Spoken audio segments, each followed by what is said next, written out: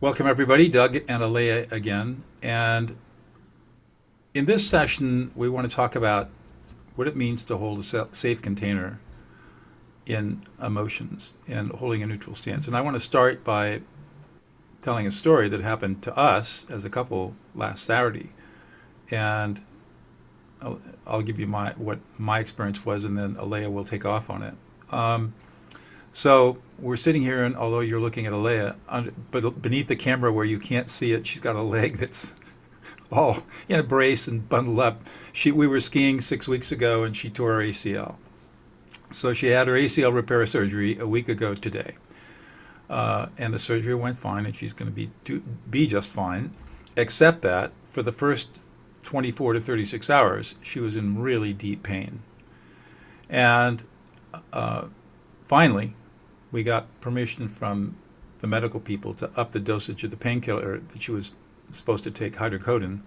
So instead of taking one cap, she took two caps, which ameliorated the pain, which was a good thing, but then triggered a whole bunch of other stuff in her because it's a very potent painkiller. So, as I was coming off the hydrocodone, big emotional detox yeah, so she release. has big emotional meltdown. I'm in the other room, and all of a sudden she starts to cry, and so I come in and and I actually literally lie down next to her and put my arms around her, and she for five minutes, she just she just had this meltdown, and in the meltdown she had a lot of anger coming out and a lot of shaming me uh, on a whole bunch of stuff. None of it was really true, but this is just stuff that she was processing. And I affect labeled her. In other words, I reflected back her emotions as she was having them. I was totally non reactive. You were completely neutral. Completely neutral. It wasn't easy to hear this stuff from someone you love, but I recognized that we were going through a process here, and it really wasn't. She didn't really believe what she was saying, but the emotions were talking. And so we, we, she processed and processed and got deeper and deeper and deeper and deeper. And I just sat there and reflected back her emotions and didn't try to fix anything and didn't run away and didn't try to get defensive or justify or do anything other than just to be present. And finally, she got to the bottom of it all. And tell us what happened. Well, you keep going and then I'll. Okay, well, what happened was she was going through all of this stuff. You know, I was the cause of every single awful thing that had happened to her. basically. that was the story that I needed to go to to, to trigger all these right, huge. She had to go through all of this stuff. Finally, she gets through all that stuff, and because I was holding a very safe container for her to process the emotions, she finally says, "Oh, it's the hydrocodone. This is the dark, dirty energy, and that's what's causing all of this." And so she was able to look at the look at the energy of the hydrocodone and say, "This is really dark stuff. No more. I'm done with this." And within 30 seconds, she cleared it and came back to reality and was normal again and hasn't taken a painkiller, taken a Tylenol or two, but, but basically stopped all the painkillers and the pain went away. Uh, and, and the pain was going away. So, you know, for those 48 hours, pretty intense pain, dosed on the hydrocodone. And then Saturday morning, took half a tab, but by Saturday afternoon, my body started detoxing detoxing the hydrocodone and probably also the anesthesia because it was general anesthesia. And so I started going into these huge emotions and trying to link the emotions with a story and conjuring all of the stuff that was completely and totally irrelevant, unrealistic, not true. But I had to link it into a story and create a reality that conjured big emotions. And then halfway through it, I realize like I'm just in this emotional wave and I start looking at it from a slightly different perspective and realize, oh, I'm in an I am in a physical, energetic, and emotional detox experience getting all of the chemistry of the drugs out of my body. And I reflected with Doug later the next day, the following day, recognizing that there were three stages that we will go through when we're in an emotional detox where we're wanting to change our vibration, detox a particular experience, detox chemistry out of our body. is we will only process emotions when we're in a really safe, neutral space. And for the first time, as I was processing those emotions, I felt this incredible container that Doug was holding, and it was this, it was so neutral, so quiet, so calm. There was no soothing coming from him. There was no defensiveness, there was no retreat, there was no fixing. It was a solid, quiet container. He did a verbally affect label you're really upset, you're grieving, you're angry, you're afraid, all of that, which then helped me go deeper. But the emotions were almost like an echolocation. And I would let the first phase of emotions go. And then as the emotions emitted, it was like I was echolocating is this a safe space for me to go deeper? If there was no reaction, that's a yes. I am safer to go deeper. So then the next wave of emotions came, which was shaming him, which has nothing to do with him, but that was the deeper layer. Still using the emotions to echolocate, shaming him, still no change in the container. Oh, great. That means I can go even deeper. Then went to the third phase of allowing for the emotions to emote echolocating again, now the release, now the clearing, now the change of the vibration, now the detoxification. and then on the other side of it. And it probably only took about five to seven minutes, not long. But I could only go through those three phases. And this is a fairly unusual experience, but it's good to go through emotions because the body uses emotions to evolve, to shift, to change its chemistry, to detox.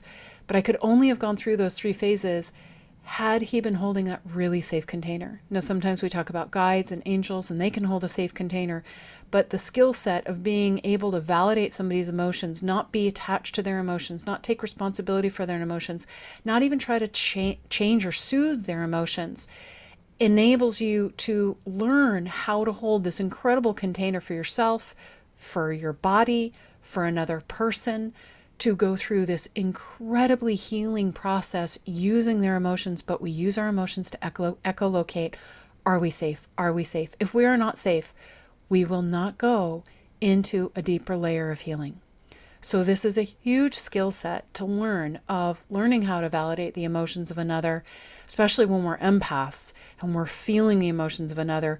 We'll naturally want to fix and change and we're in their stuff and we might not even realize that we're in in their stuff and so I was just thinking about all these skill sets of the empathic sensitivity, the awareness around that, the empowered empath course, the emotional competency course, and how it enabled us to have a very powerful, healing, gentle, sweet, loving experience in those seven minutes as I was coming off of hydrocodone and anesthesia that could have ruined, crushed some couples and so, tools that can help you heal, grow, evolve, detox, and hold an even clearer stance inside yourself. Doug, any other reflections on that? So, the you're probably thinking out there, wow, where do I find somebody that can do that for me? I want a Doug.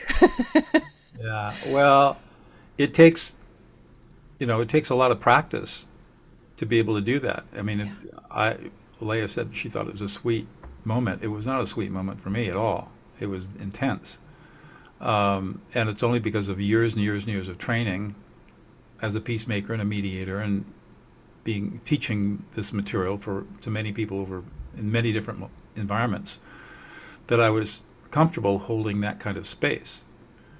Um, it was hard. It was hard. I mean, it wasn't hard to do. I knew what to do, but it was hard to hear the words. Because if I hadn't been in that neutral place, they would have been very hurtful. Right. Uh, so the, I think this, the, the how of it all is to start learning how to reflect, how to become self-aware and reflect the emotions of another, and how, and become self-aware of your own emotions through self-affect labeling. Uh, and that's where you start and it's like a, it's like anything else. The more you practice it, the better you get at it.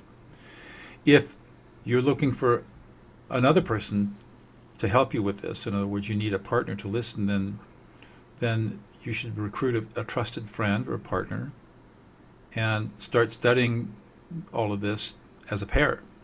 Because uh, you can practice you can practice this on each other over and over and over again. And you can do you can make some really wicked role plays. And if you if you want role plays that are pretty tough email us at, at uh, let's see i'm trying to think of the i think Doug at Told support it support it empath.help i think will work. Um, and we can, you know, we can get into a dialogue about how to practice what kind of practice exercises you can use to do this stuff. But once you master this skill everything changes. And so profoundly healing for the people that are in your life that have have a moment have an emotional moment. And you're in a place from from the perspective of the listener you're in a place where even though i was being attacked i wasn't upset i wasn't angry. I didn't feel resentful.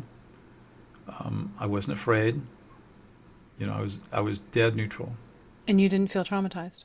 And i didn't feel traumatized afterwards. Uh, which is huge. which is a pretty major pretty major accomplishment. At something this intense.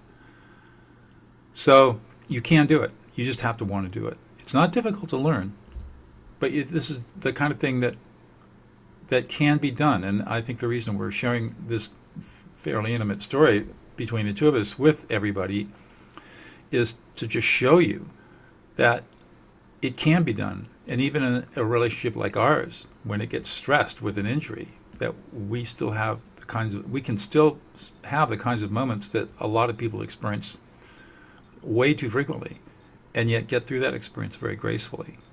And that if this is something that appeals to you then you can learn how to do this there is a way there is a way and it works mm-hmm.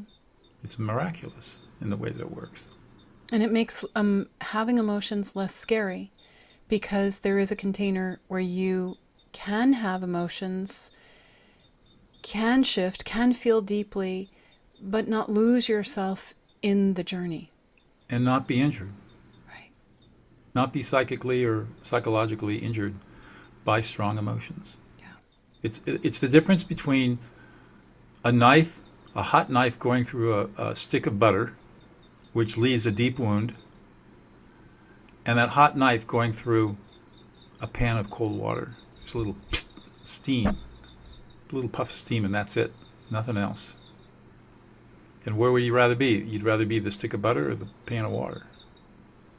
And I think the greatest challenge, too, is that in the last few years, or decade, or two decades, or 100 years, or 50 years, there have been a lot of um, conversations, tools, practices, books talking about communication. And you may have tried a lot of different ways of communicating in a different way, holding yourself in a different way, and maybe it worked, maybe it didn't work. And so, at a societal level, we might feel a little jaded. And we might think, well, that's not going to work for me. And, well, that doesn't work because nothing's worked and I've tried everything.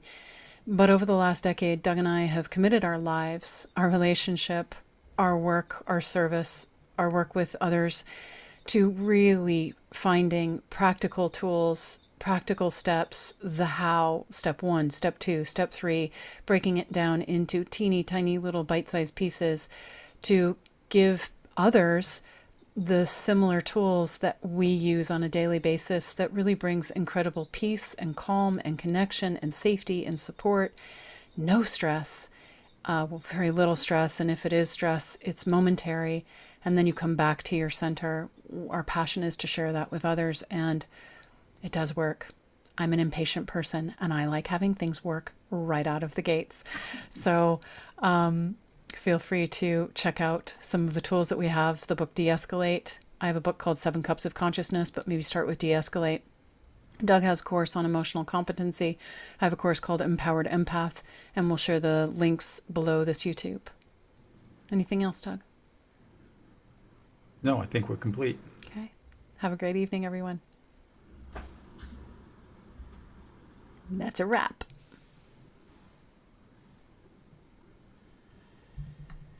Oh.